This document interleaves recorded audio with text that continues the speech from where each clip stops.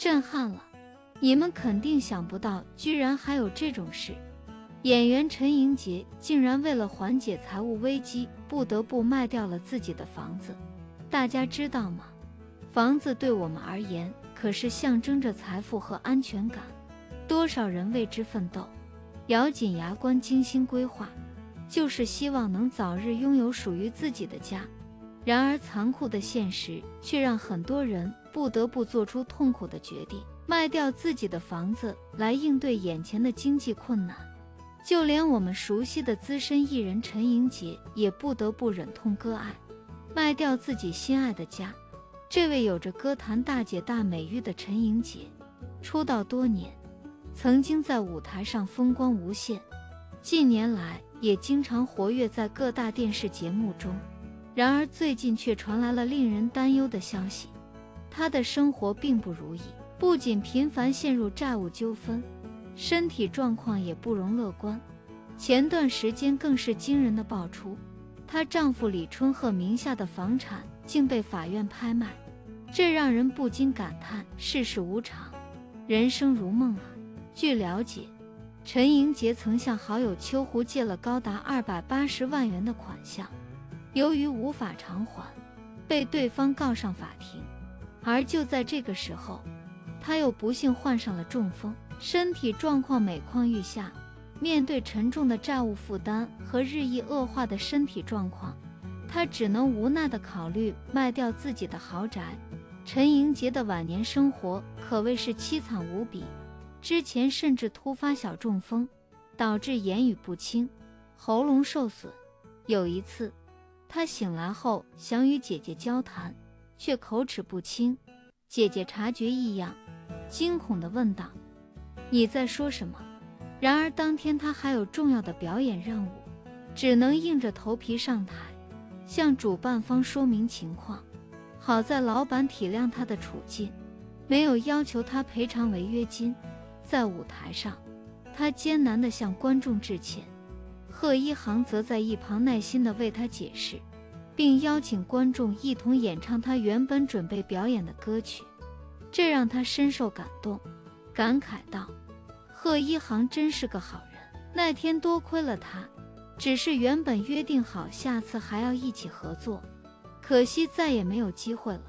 演出结束后，她的丈夫李春鹤立即陪同她前往台中澄清医院进行检查，结果证实是颈部血管阻塞引发的小中风。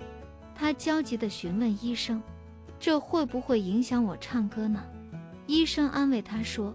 幸好发现及时，否则后果不堪设想。随后，医生为他注射了干细胞，并嘱咐他只要注意调养、积极锻炼，几个月就能恢复健康。在康复期间，他改变了长期熬夜的不良习惯，每天晚上十点准时入睡，同时还补充各种营养品，促进血液循环。过去她非常喜欢吃肉类食物，但听从丈夫的建议，现在饮食变得非常清淡。谈到丈夫时，她脸上洋溢着幸福的笑容，透露李春鹤已经坚持吃素长达三十多年，身体状况保持得非常好。在休养期间，丈夫严格限制她食用油炸食品和加工食品等，还亲自为她烹饪三餐。每日驾车接送，尽显关爱之情。此外，夫妇二人还会定期去寺庙祈福，顺便散步锻炼身体。陈莹杰坦言，她的主治医师和亲朋好友们都认为他非常幸运，中风症状相对较轻。而在此之前，他已经两年没有进行过全面的健康体检了。这次生病之后。他终于开始重视自身的健康问题，不仅检查了大脑，还检查了肾脏、心脏等部位，发现自己患有高血压，于是马上采取措施加以控制。所幸一切都来得及，历经半年的休养调整，陈英杰终于开始接到了新的工作机会。他笑着感慨道：“跑活动、唱歌，和大家聊天。”也都算是我的一种康复训练吧。然而，每一次登台演唱之前，他总是先向观众们表达歉意，坦言自己的歌声或许并不完美，但他会运用各种技巧来弥补不足之处。令人瞩目的是，在那段时间里，他与曾经为他提供过借款的朋友秋胡之间发生了一段曲折离奇的故事，甚至还被爆出曾骗取妹妹的金钱。早在2013年，秋胡曾向陈莹杰出示了一张价值高达280万元的本票，请求借款。然而，这笔款项却始终未能归还。最终导致秋胡被指控诈骗。在案件调查过程中，检察机关发现这张本票上陈莹杰妹妹陈玉欣的签名竟然是伪造的，于是以涉嫌伪造有价证券罪对陈莹杰提起诉讼。首次开庭之际，陈莹杰并未出席，他的律师解释称，他正在金门参加节目录制，实在无法抽身出庭。并承诺下次一定会亲自出庭进行详细说明。秋胡则向法官提出陈莹杰可能存在逃跑风险，恳请法官对他实施出行限制。对此，检方回应称，如果陈莹杰下次仍然不出庭，除了由法官采取强制措施之外，他们也将申请对其出行进行限制。原来。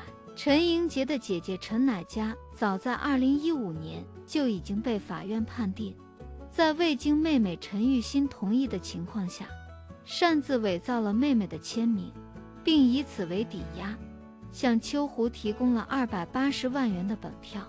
由于此举，陈乃佳被判处有期徒刑缓期执行。鉴于此，北检认为陈莹洁与陈乃佳属于共同犯罪。因此，以同样的罪名对他提起诉讼。然而，陈莹杰的律师在法庭上坚决否认了这一指控，并指出陈玉新的签名实际上是由陈乃佳签署的，并非陈莹杰教唆。此外，陈乃佳伪造妹妹签名的行为也是受秋胡教唆所致。起诉陈莹杰显然存在误解。秋胡则反驳称。他只认识陈莹洁，并不了解陈乃佳和陈玉欣。当时，陈莹洁首先向他借款二百万元，随后又追加借款八十万元。为了确保还款安全，他才要求提供担保，并且从未教唆陈乃佳伪造签名。至于被伪造签名的陈玉欣，他向法官提交了书面声明，表示不愿出庭作证。并愿意原谅二姐陈莹洁，放弃追究其法律责任。对此，检方表示尊重，但陈莹洁的律师则澄清，陈莹洁并无任何违法行为。陈玉新之所以这样说，应该是误以为二姐被起诉了。尽管如此，法官依然坚持要求陈莹洁本人亲自到庭说明案情。然而，此后，关于此事的具体进展情况，却再也没有相关报道流出。回顾往昔岁月，自1973年步入歌坛以来，陈莹洁已经发行了超过八十张唱片，其中不乏众多脍炙人口的经典作品。她的首张国语专辑《春风》一经推出便广受欢迎，使得她一夜成名。多年之后，他转战闽南语歌坛，更是声名鹊起，连续创作出许多深受大众喜爱的歌曲。例如那首《风飞沙》，不仅打破了闽南语歌曲的销售记录，更是成为 KTV 点播率最高的热门歌曲。在那个年代，陈莹洁无疑是最炙手可热的艺人，各大唱片公司和演艺场所都争相邀请他加入。然而，那些显著的名誉，并未能带给他内心深处真正的满足和幸福。相反，情感上的困扰和经济上的压力使他深陷困境，苦不堪言。面对一次又一次的挫败，他坦诚地承认，自己并非能对所有事情都看得那么豁达，曾经一度陷入深深的失望和痛苦之中。然而，当他深情演绎了那首。海海人生之后，他终于找寻到了生活新的方向。这首动人的歌曲正是出自香港巨星张国荣之手。令人惊讶的是，后来他竟然因为无法承受人世间的苦难而选择了离开这个世界。对于张国荣的离去，坚强勇敢的陈莹洁表示无法理解和接受。陈莹洁，这位来自客家的美丽女子，在十九岁的那年，他偶然来到台中万象俱乐部游玩，在舞台上无意间演唱了一曲，没想到竟被星探慧眼识珠，从此踏上了辉煌的歌坛之路。他拥有一副清丽脱俗的嗓音和一双明亮如星辰般的大眼睛，因此被人们亲切地称为“大眼妹”、“大眼睛姑娘”。当时的知名导演何平、张美君等人都曾向她发出过参演电影的邀请，但是她总是觉得自己身材不够高挑，害怕与帅气的男演员站在一起会产生巨大的视觉差距，从而影响观众的观感。所以，他更倾向于将精力投入到歌唱事业中去。在歌坛的道路上，陈莹洁并非一帆风顺。经过歌厅的大力推荐，她成功签约，成为海山唱片旗下的歌手。凭借一首《春风》，迅速走红。然而，那个时候的歌坛已经被凤飞飞、珍妮、崔台晶等实力派女歌手牢牢占据。陈莹洁的人气相较之下略显逊色，难以与他们抗衡。陈莹洁性格直爽，敢于表达自己的观点，对于看不惯的事情总会毫不掩饰地说出来，这使得他常常与他人发生冲突。曾经有一次，秀场艺人们联合起来抵制杨艳，而他却毫不在意，依然与杨艳保持着友好的交往。这引起了众多大牌艺人的不满，甚至连他也受到了牵连。于是他愤然决定前往南部登台演出，以此来躲避这场纷争。一九八二年，对于陈莹洁来说，无疑是一个具有特殊意义的年份。在演唱了近十年的国语歌曲之后，他终于决定转向闽南语歌坛发展。一首由香城唱片发行的。天涯找爱人，让他的歌声传遍了大街小巷，而随后推出的《中山北路行七百》等歌曲也为他赢得了广大歌迷的热烈追捧。在二十三岁那年，他邂逅了同样身为歌星的潘健。作为一个一直以来都是母亲心中的乖乖女的她，为了追求真爱，不惜顶住母亲的强烈反对，坚决地选择了与潘健共度余生。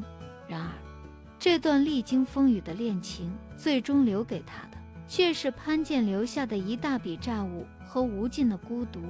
自此以后，潘建告别了他们共同的家园，音讯全无。